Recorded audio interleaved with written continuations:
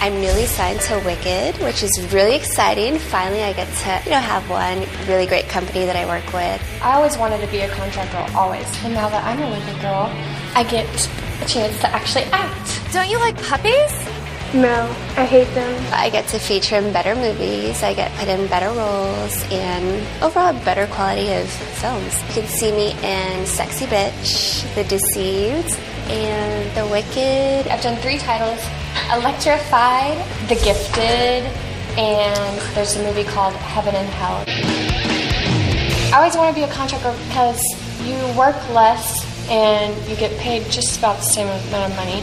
And you don't have to be working for a different person every day, not knowing what you're doing. Most people think that a contract girl's job only entails making movies, but there's more to it. From meeting the fans and looking good all the time to learning how to dance. We're going to be learning some new pole tricks today.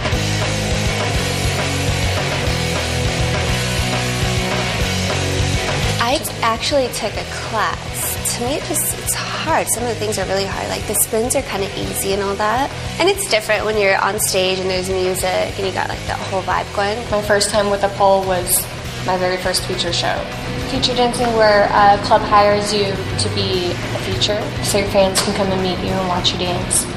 You sell pictures, the movies, and greet with the fans. I do remember that very first time we featured. It was a little bit back, and I was scared. And she seemed like a damn professional, of course. But now we're here. We're both wicked girls, and we're happy to be together. Well, there you have it, guys. We took our lesson, and we try to learn lots for you guys. See, just to show you how much we love you.